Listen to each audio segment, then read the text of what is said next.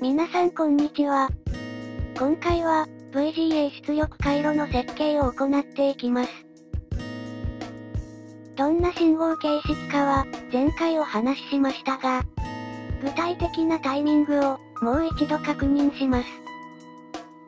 ディスプレイの左上から信号が始まり、横一列終わったら次の列、といった動作を一番下まで行い、また左上から始める、という動作を繰り返します。そのタイミングは右の通りです。VGA では 640×480 が標準解像度で、この解像度ならどのディスプレイでも対応しています。1画素分の信号の速度が 25.175MHz で、横向きの画面内が640画素分。画面外から1ラインの同期信号である horizon sync 信号の開始までの長さが16画素分。 horizon sync の長さは96画素分。そこから1ライン終了までが48画素分。1ラインは計800画素となっています。その周期は 25.175MHz 割る800で、31.46875kHz というわけです。垂直方向についても同じように画面内と、こちらは vertical sync のタイミングが決まっています。なのでこれらのタイミングで、画面の色信号、 horizon sync、vertical sync を出力すれば画面が映ります。というのを回路にしたものがこれです。ある程度の周波数の誤差は、ディスプレイ側は気にしないので、ベースクロックは 25MHz となっています。それをカウンターで横向き800と、垂直方向525ラインをカウントしています。あとは AND 回路で horizon sync と vertical sync の開始と終了のタイミングを読み出して、フリップフロップを切り替えることでそれら同期信号を作り出します。また、同じような手法で画面外を検知し、色データの読み出しを停止させます。ちなみに色データは S ラムから8画素前に読み出し、疑似的に 80×60 の解像度としています。理由としては使用可能なメモリの容量的な問題と、メモリの速度が足りない問題。あと解像度を大きくしてもコントロールする CPU が遅いので、メモリの書き換えに時間がかかり、画面を白一色にするだけで数十秒かかる羽目になります。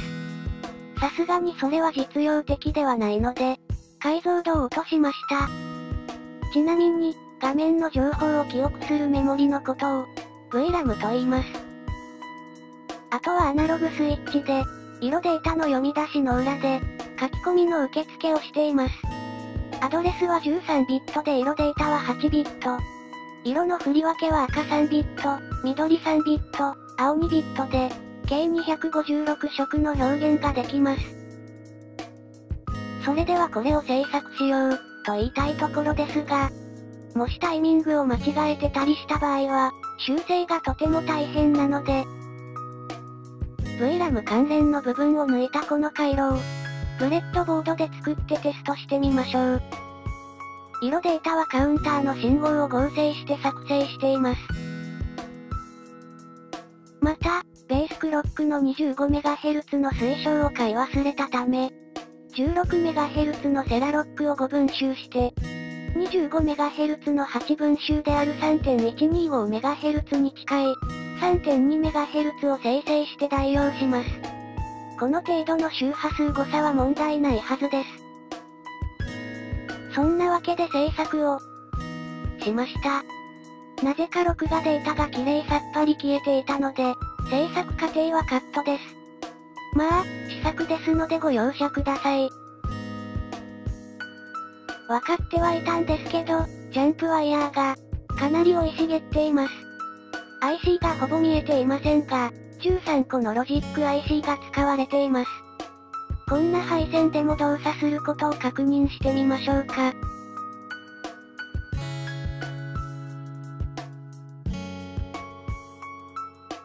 ちゃんと映りましたね。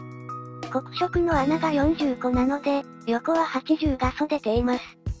垂直方向も設計通り60画素ありますね。これは成功した、ということでいいでしょう。ちなみに、左右に黒い縁ができているのは、このディスプレイの形が最近の主流である 16×9 で、この信号規格は 4×3 だからです。左上を近くで撮った写真です。特にノイズによるちらつきも見えませんね。画面上部もはみ出したり、黒縁ができたりしていません。規格に添えているということでしょう。画面右下です。こちらも綺麗に収まっていますね。では一応、信号の方も見てみましょうか。これはロジックアナライザで信号を記録したものです。まずは vertical sync の1周期分を見てみましょう。約 61Hz のようです。これがいわゆるディスプレイのリフレッシュレートです。大抵の規格値では 60Hz ですが、ゲーミングモニターはここが 120Hz だったりします。ホライズンシンクの1周期分です。約 32kHz ですね。規格値では約 31.5kHz でした。最後に1画素分です。3.2MHz と設計通りの周波数ですね。8倍すると 25.6MHz になり、規格値である 25.175MHz に近い値が出ています。信号も設計通りに出ており、問題なさそうです。そんなわけで、試作は成功しました。ですので次回、ハンダ付けを行っていこうと思います。といったところで今回はこの辺りで、次回もまた、よろしくお願いします。ではまた。